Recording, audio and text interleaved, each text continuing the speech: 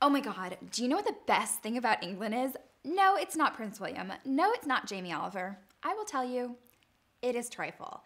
This stuff is freaking incredible. Oh my God, I just, it's amazing, but it's so good we don't have it in the USA because as you know, there's a big obesity problem over there. big obesity problem.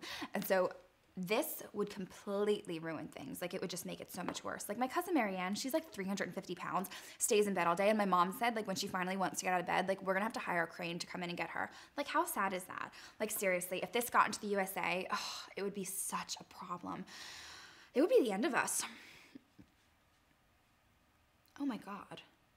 I hope Al Qaeda doesn't get a hold of this. Oh, that would be so bad. I kind of can't wait anymore. I just need it. Oh my god. This is seriously like the best stuff ever. I feel like really warm on the inside. Like really happy. Like I just want to hug someone. Like this is just so good. Oh my god. Mm, so good. Seriously, it makes me miss my mom less. really does. Like I miss her all the time, but like when I eat this, I'm like, hmm, whatever, my mom, okay. I just makes me so happy. That was really good. One more bite. Maybe two more bites. I'm almost done.